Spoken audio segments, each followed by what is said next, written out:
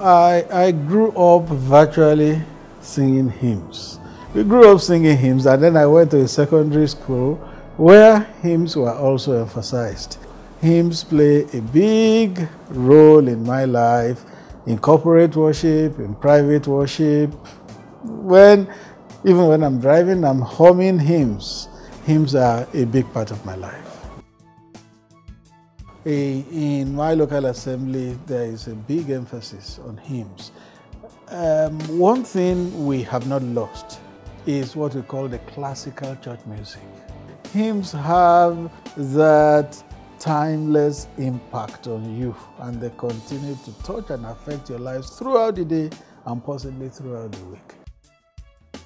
Yes, uh, I have loved Faith of Our Fathers. I love plenty hymns, but Faith of Our Fathers ministers to me a great deal. So, Faith of Our Fathers reminds me that if it was good enough for those who have gone, it's also good enough for those of us who are here now.